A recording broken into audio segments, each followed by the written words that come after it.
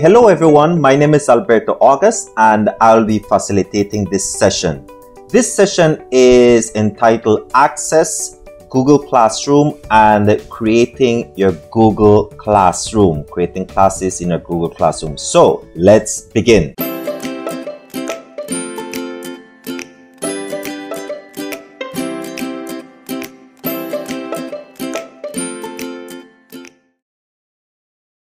So, considering you have a Google account, you need to now access your Google Classroom. Now, Google Classroom is an mount is a mounting platform where your students will be able to mount the assignments or activities that you assign to them. So this is a wonderful, wonderful platform here. Okay, so where do we get Google Classroom? First of all, we need to go to our Google app. So you log on to your email as per normal and you click here on Google applications. You click Google apps and you will see the down menu. If you don't see Google Classroom there, you might need to scroll down and look for Google Classroom. Okay. So click on Google Classroom and that is how you access Google Classroom in your Google app through your email. And just to show you, if you like quickly, while this is loading, you can actually bookmark Google Classroom. So here's a little bookmarker. Bookmark the Google Classroom so that you can have it on your tab so that you don't always have to log in and go to your email. It's readily available there for you. Okay, so now that we've access to our Google Classroom, we want to now create our classes. If you notice, I already created one, two, three, four classes here and I'm going to create two more. Easy to create your classroom. All you need to do is to go to the plus sign here. It says to create or join a class. For you, the teacher, you will create a class. When a student sign in, they will have join a class and I will share with you later how to get the code for your students to join each of your class.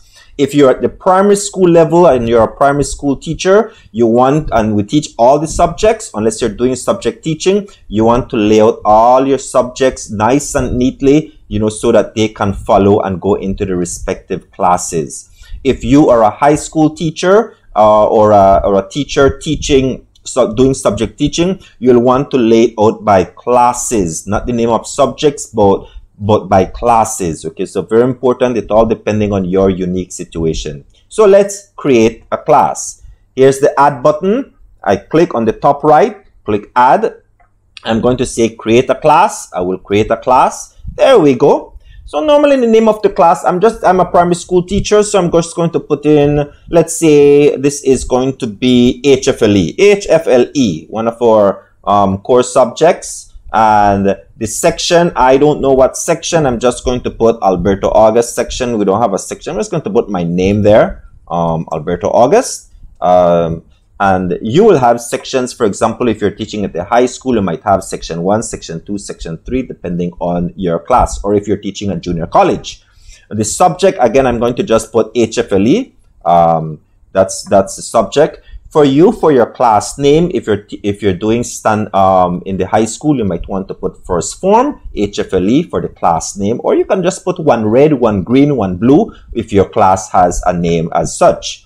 The room number i don't have any room number i'm just going to put my name here alberto august room. If you have a room 13 room 14 then you can go ahead and put the room number. And that's basically what we do to create a class. I will click on create and voila my class is being created okay? It will take just a couple seconds to populate okay as we go along okay? So that's the first thing I'm going to do is to create my classroom and I'm now adding a class to my there we go. And it's going to pop up there but if you see this don't get scared that's okay. What this does it simply provides you with the class code. Here's the class code if you click here, you will see, so you see H, um, HFLE for Alberto. The class code is there. You can maximize that. There we go. You copy the class code, okay? You copy this class code. You can have in one WhatsApp message or you can have in your notes um, for all your math, language arts, science, social studies. You send the class code to your students and or to your parents' WhatsApp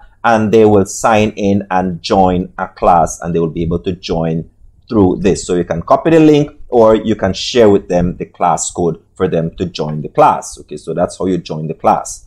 So now when you see this in here, you're fine. You are ready. Tomorrow, the next session, and we're going to talk about how you can how you can populate the information in Google Classroom. Today, we're only creating the classes. There's some fun stuff that you could do in your class. You can select a theme. You can, you don't need that background. If you want to add a picture, you can change that theme there. I don't know if you want to put, uh, if you like uh, tea, if you like uh, whatever you like. There are a couple themes here that are suggested under different topics, under math, under English.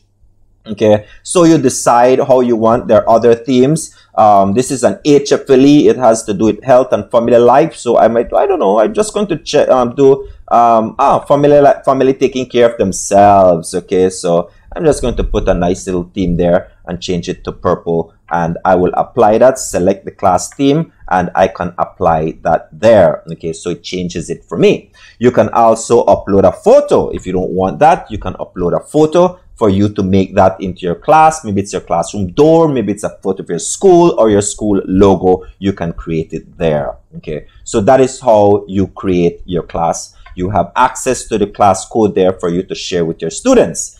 Okay, now uh, just one more one more uh, um, option I want to show you as you go ahead and create your classrooms. Here we go. We go to classes. Okay, you can see all classes. Again, let me show you where I did that. I will go back to, let's say, language arts here.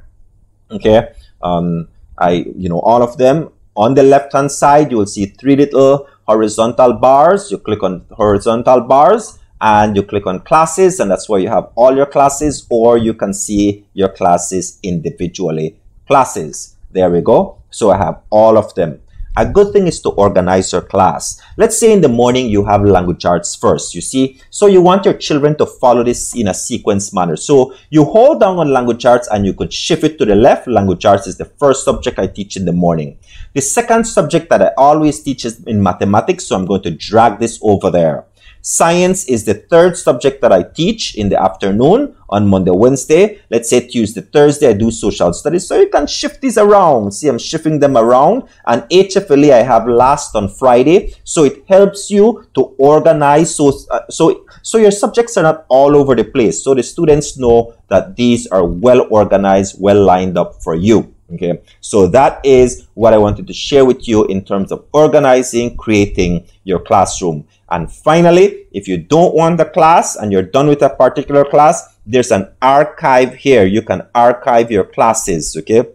So if you're done with the class at the end and you want to archive, that's easy. You just go to the you just go to the to the classroom there and you can place it in what you call archive. It will archive this class, meaning it will put it in there. It won't delete it. Maybe next year you want it or you want to bring it back to just refresh it for your next group of students. So you don't have to create all your activities again. How wonderful is that? Okay. So let's recap.